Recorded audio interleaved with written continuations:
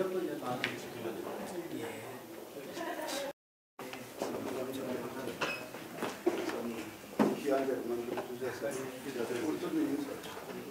세종인성학당장 천광로 작가입니다. 새벽에 세종을 출발해서 저는 지금 여기 종로 5가 한국기독교 회관 2층 세미나실에 왔습니다. 보시는 것처럼 저 위에 신학 세미나 바른 신학, 바른 교리, 아, 한국교회 이단 관계의 어, 말씀을 어, 우리가 듣는 이런 자리에 제가 마음 먹고 올라왔습니다. 잠시부터 여기서 이제 이 세미나가 진행되는데요. 어, 이것이 이제 오늘 순서지를 제가 하나 받았습니다. 한국 기독교 부흥협의 협의회 주최 이단 대책 분과위원회 주관입니다. 그래서 일부 예배가 있습니다. 아, 자세하게 말씀을 듣지 않아도 보- 보시게 될 테니까 아, 말씀은 현 장신대 김명용 총장님께서 일부 예배에 말씀을 전해 그, 들려주시게 될 것입니다. 2부 신학 세미나가 윤준식 목사님의 사회로 어, 순서는 앞뒤가 어떻게 되는가 모르겠어요.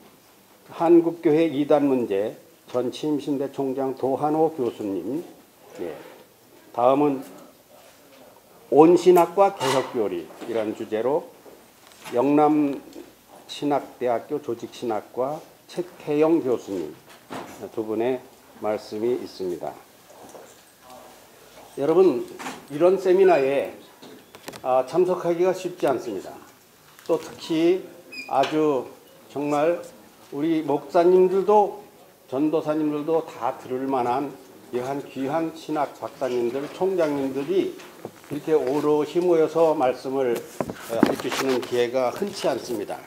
오늘 이 자리가 여러분들과 제가 같이 어, 영상으로 동참하면서 한국교회에 좋은 자료도 남기고 다시 반복해서 보시기도 하고 이러한 목적으로 마음 먹고 도하나 총장님은 저의 찬양학의 스승님이십니다. 제가 예, 모시고 같이 올라왔습니다. 좋은 시간 되시기 바랍니다. 감사합니다. 말씀의 제목은 바른 신학의 중요성이라고 하는 제목으로 어, 현 장신대 총장 김명령 교수님께서 말씀을 전해 주시겠습니다.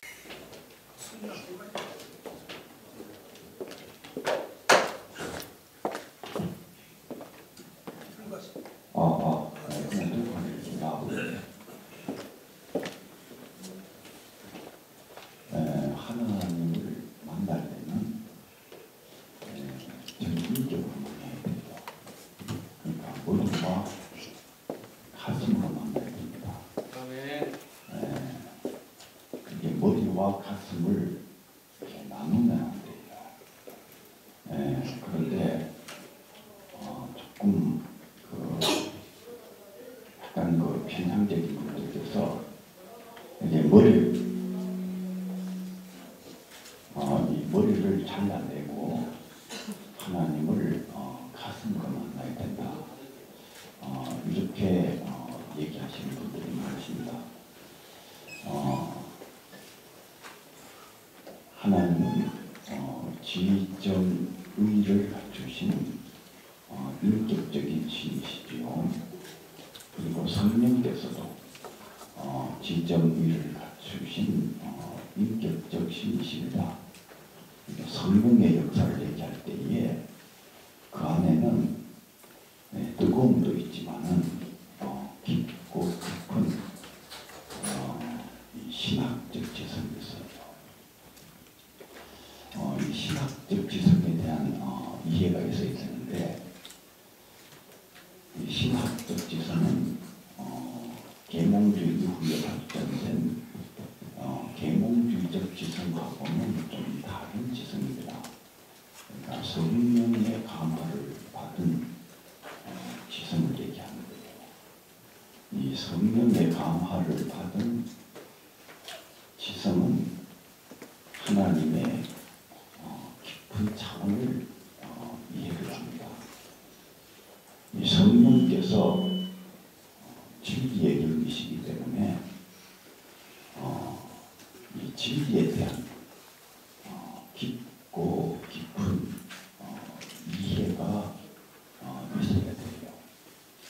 물론 어, 또 신학교에서 자주 일어나는 이 가슴에 뜨거운 것은 어, 배제하고 이 머리만 움직이는 어, 이것도 문제가 있습니다. 어, 이 머리만 움직여 가지고는 전 인격적으로 하나님을 만나는 것이 아니기 때문에 그게 갖고 있는 약점도 있어요.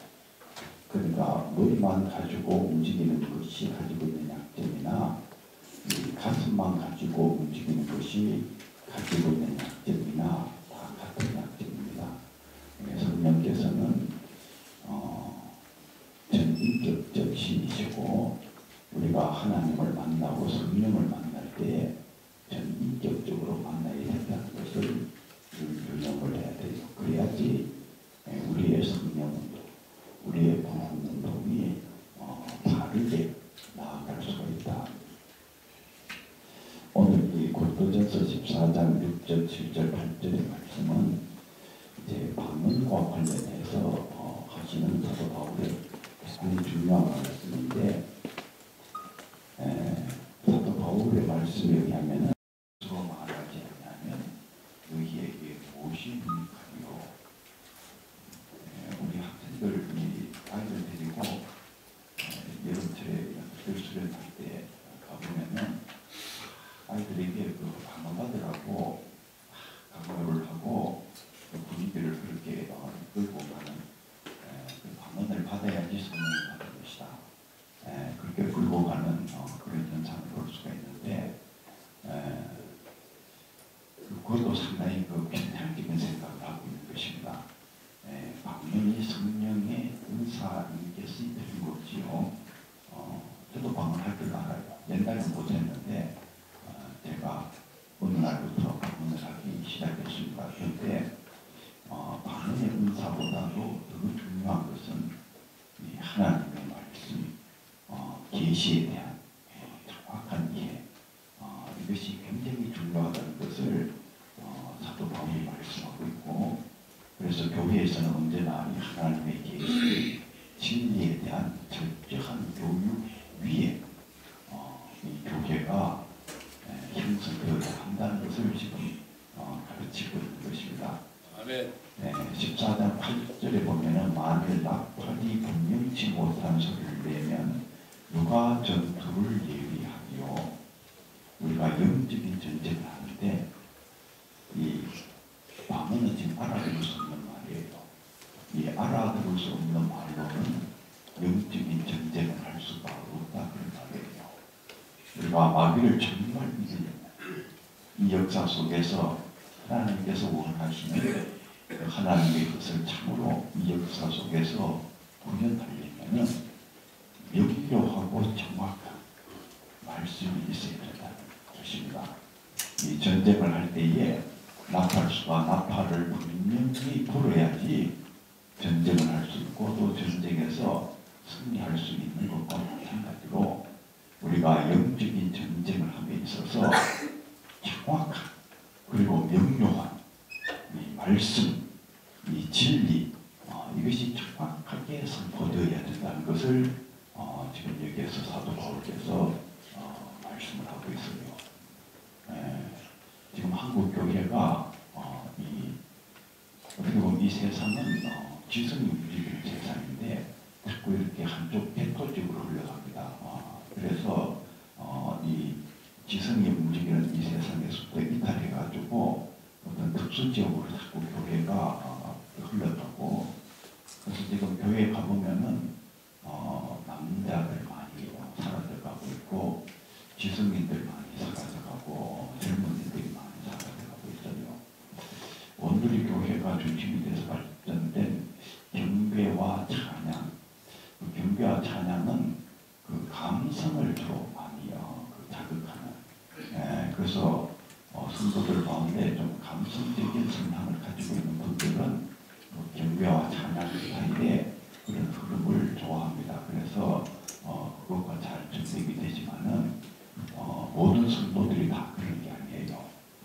지성적인 성도들도 있고 역사에 대해서 굉장히 깊은 관심을 기울이는 어, 성도들도 있고. 그런데 현재의 한국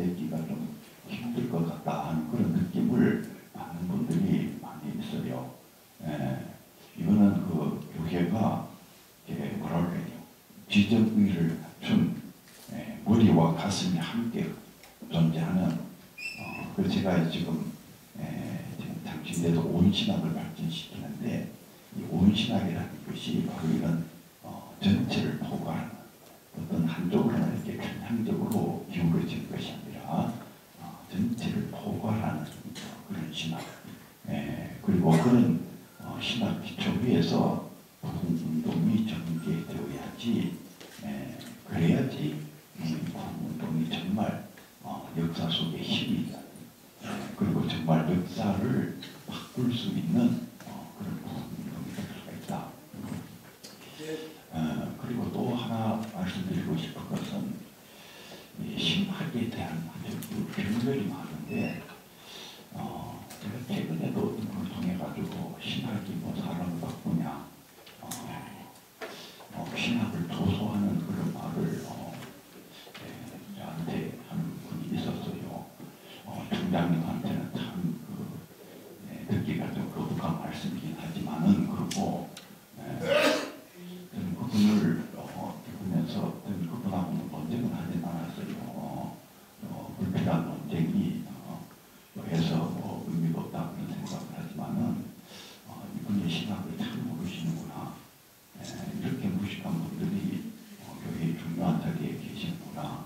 예, 그렇게 생각을 했어요. 어, 신학은 굉장히 중요합니다. 어, 내년이 종교개혁 그 500주년인데 이 종교개혁이 일어난 그 자리에 막신 루터가 있지요. 이 루터의 만인 사제직, 이 루터의 만인 사제직은 신학이에요.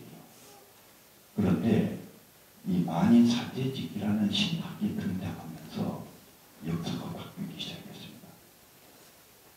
엄청난 변화, 어, 신학을 통해서 나타나기 시작합니다. 교회도 바뀌고 세계 역사도 바뀌고 이 만인 사제직이라는 신학이 등장하지 않았으면은 역사가 바뀌지 않습니다. 이 신학은 그 시대마다 성령께서 쓰시는 하나님의 말씀의 도구라는 사실을 잘 알아야 됩니다. 아멘.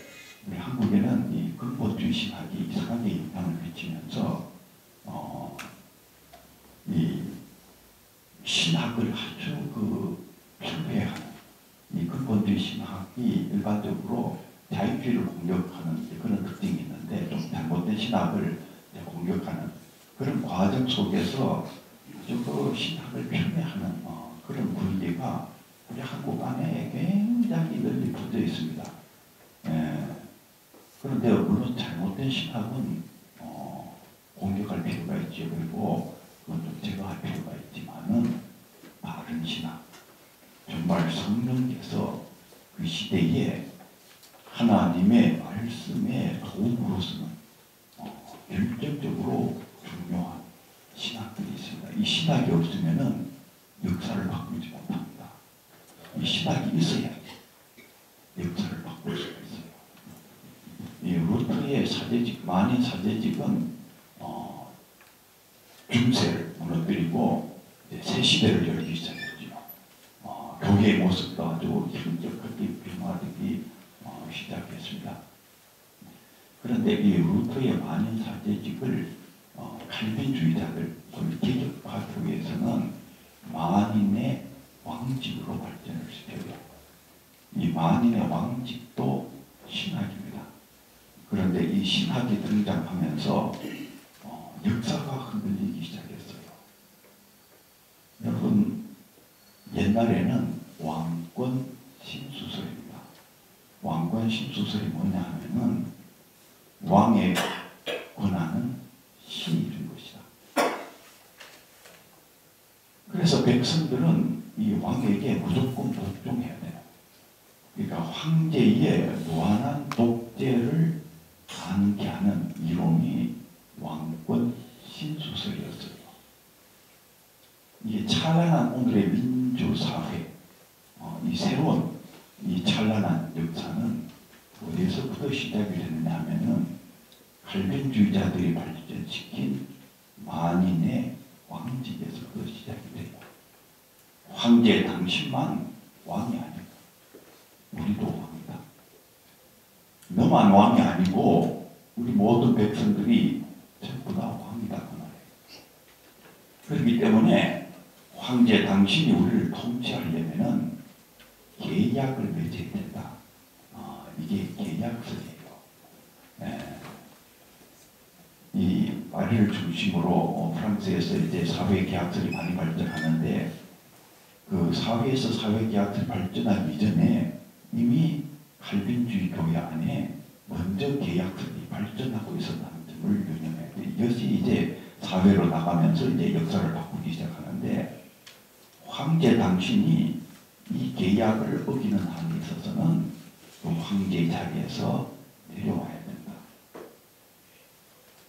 이미 1560년에 이 칼빈주의자들의 어, 교회라고 볼 수 있는 스코틀랜드 장로교회는 저항권을 명시하기 시작합니다.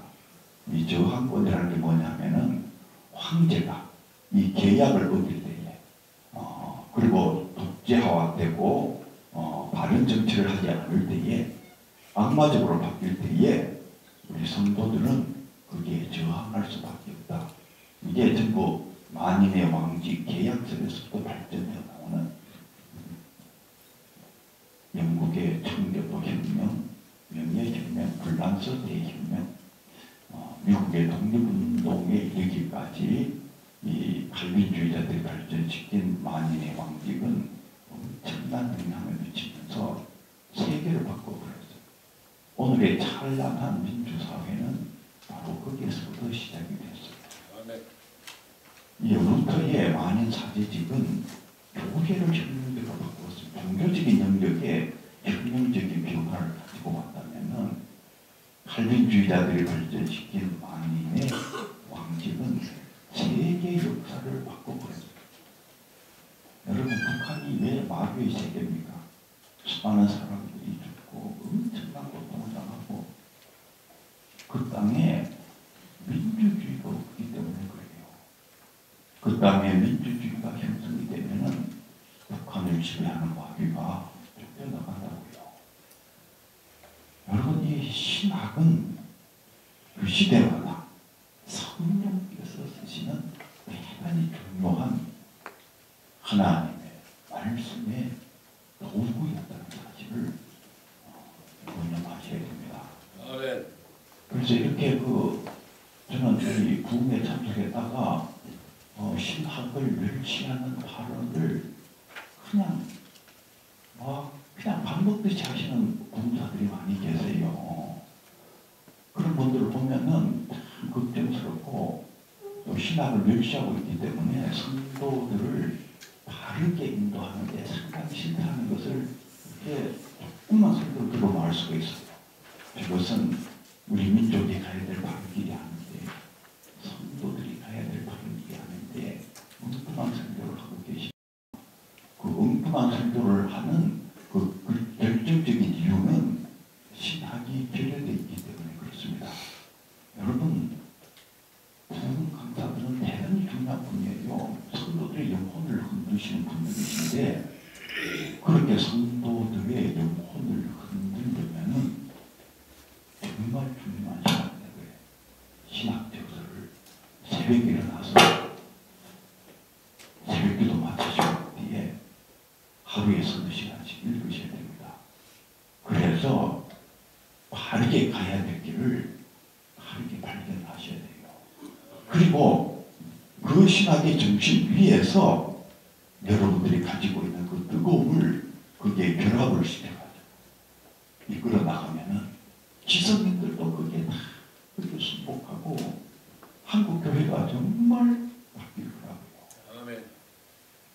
나팔이 분명한 소리, 이 역사에서 우리가 가야 될 그 방향, 그 분명한 소리를 내지 못하면은 전쟁을 예비할 수도 없고 전쟁에서 이길 수도 없습니다.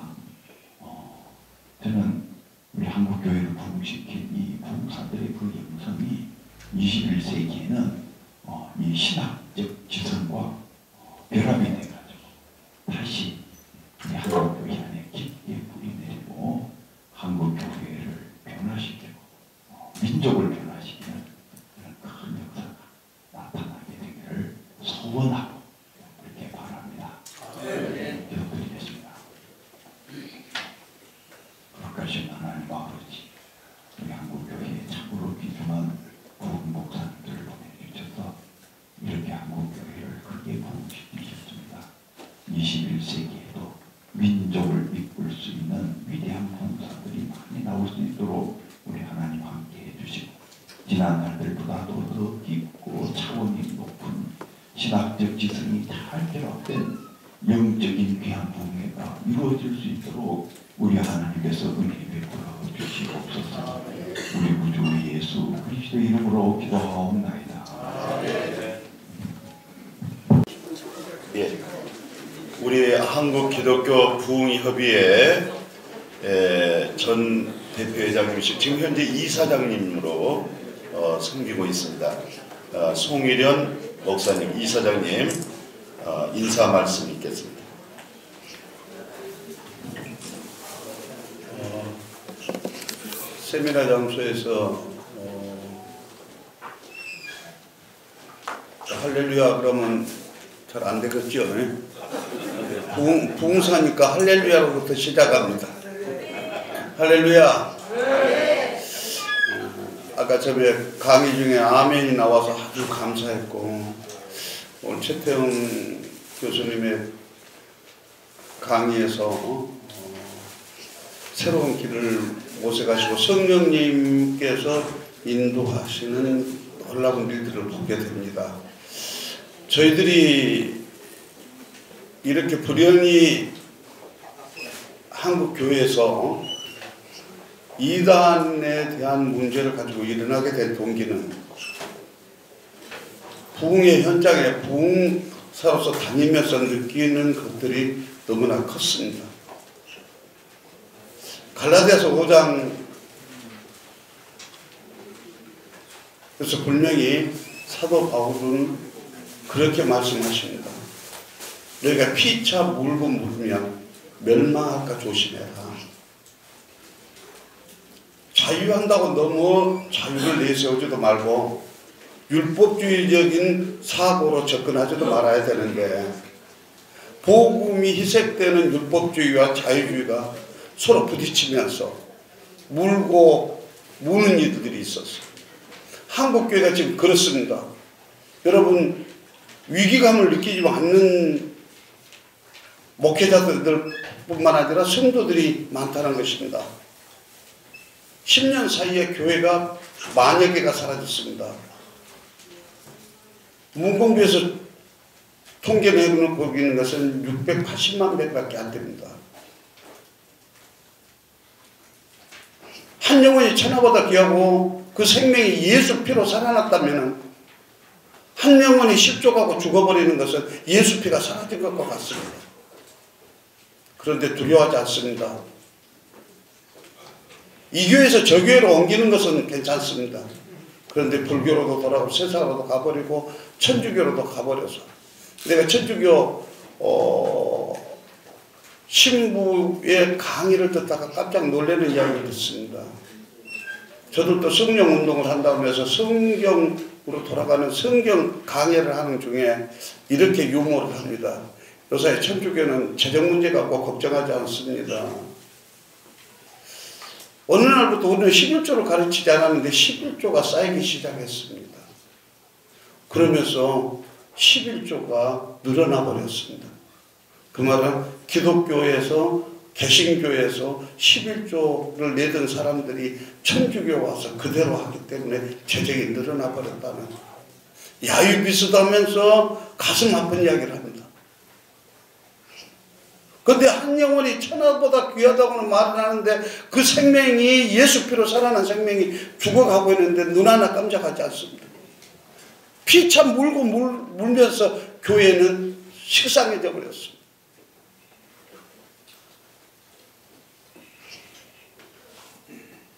신학이 무엇입니까? 오늘 최태현 교수님 말씀 잘해 주셨죠. 성경 위에 올라갈 수 없는 신학이 성경 위에 올라가서 있어요. 성경의 권위는 신학 밑에 있는 것 같이 생각하면서. 그래서 한국교회 이래서는 안 된다. 다른 신학을 정립하면서 이단 정제에 넘어 물고 묻는 일들이 너무 많다. 그러다 보니까 성도들은 어떠냐 그 사이에서 식상하기 시작하고 내 이런 교회 못하러 다녀? 하는 마음들이 생기면서 교회를 멀리하고 교회를 떠나고 교회에서 봉사하기를 이 길만이 사는 길이라고 생각하고 믿었던 예수 하나님의 사람들이 목회자들이 정치적으로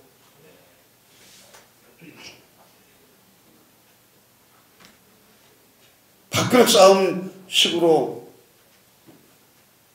예수 피를 가지고 농락하는 일들이 벌어지면서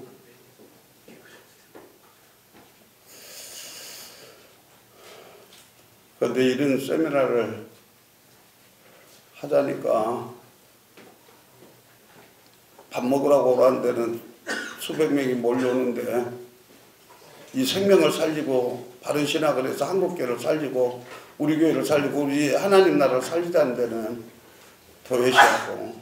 회원들부터 그랬다는 게 가슴 아픈데 아무튼 오늘 이 일을 주선하면서 애쓰신 우리 한기부 대표장 또는 준비위원장 상임회장 임원들한테 다시 한번 감사드리고 이번 기회를 통해서 바른 신학, 바른 교리가 한국교회 성경을 지키고 교회를 지키고 성도들의 영혼을 지키는 그런 계기가 되었으면 하겠고 하- 한마디만 더 한다면은 하나님의 말씀은 보물입니다. 보석과 같습니다. 그 보석이 보물이 보는 각도와 시각의 차이에 따라서 굴절의 빛이 다릅니다. 밑에서 보는 것과 옆에서 위에서 보는 것과 빛의 들어오는 방향이 다릅니다. 성령의 조명이 다를 수가 있습니다. 각각이. 나 같은 것은 세상에서 아무것도 모르고 술 먹고 싸우고 돌아다니고 내 삶이 최고다고 내가 제일로 낫다고 그러고 하고 돌아다니는 사람입니다. 이 거리가 내가 할부하고 다니던 거리입니다. 여기서 송일현이 그러면 무서워했습니다. 한때. 그런데 하나님께서 어느 날 날 부르셨습니다. 누가 교회 가자고도 안 했는데 밤 12시 10분 전에 망년의 날 저녁에 교회 갔고 그때 주님 한 번 만난 것이 오늘까지 30년을 한결같이 주님만 바라보고 있는데 눈물이 날 만큼 나 같은 도 구원하시려는 하나님의 계획이 있는데 그런데 그 조명 받은 나의 조명이 어렸을 때 어머니가 모태신앙으로 키우셨고 어려서 성경을 읽게 했고 성경을 11번 읽은 것이 기본이 되어서 내가 아까 전에 우리 총장님이 말씀하신 대로 머리만은 뜨거워진 것이 아니고 가슴도 뜨거워졌고 가슴도 뜨거워졌지만 머리로도 함께 하는 신학을 가지면서 이런 문제를 더 이상 묵과할 수 없다. 그래서 우리가 형제된 자들이 모여서 기도하고 이 일을 돈을 들여서라도 한국교회를 살리는 일에 우리가 다시 한번 매진하자. 그래서 이 장소를 만들었습니다. 여러분 함께 기도해 주시고 한국교회가 사는 것은 바로 하나님 나가 사는 것이요. 예수 생명이 다시 살아나는 것입니다. 우리 다시 한번 기도로 밀어주시고 한국 기독교 부흥협의가 바른 말씀 전파에 힘쓰도록 해주시되 바른 신학이 보호해 주시는 역사가 있기를 바랍니다.